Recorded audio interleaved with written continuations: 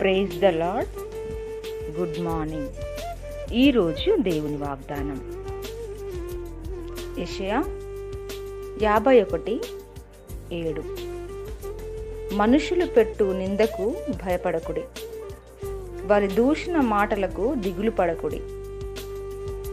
Amen. Amen.